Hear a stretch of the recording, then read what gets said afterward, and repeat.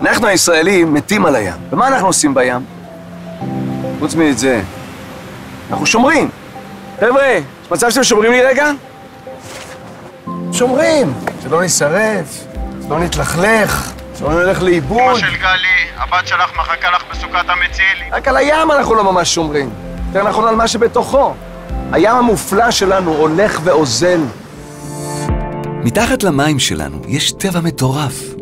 ספארי ענק של בעלי חיים, צמחים, שוניות.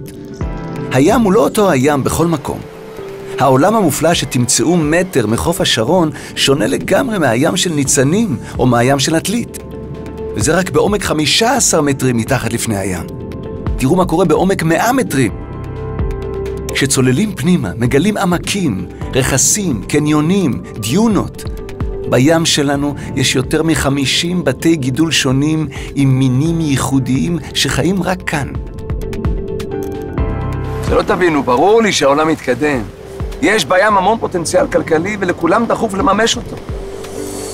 גם אני בעד, אבל חייבים לעשות את זה בתבונה, אחרת לא יישאר לנו ים.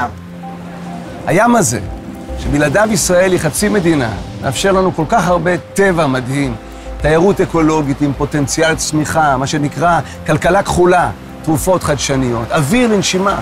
50 אחוז מהאוויר שאנחנו נושמים בא מהים. אפילו רוב מי השתייה שלנו מותפלים מהים. Mm.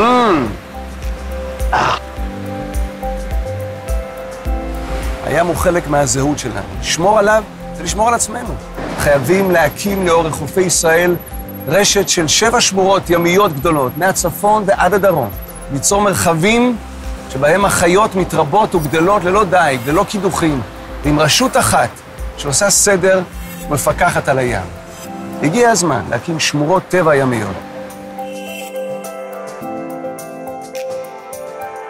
יפה, שמרתם.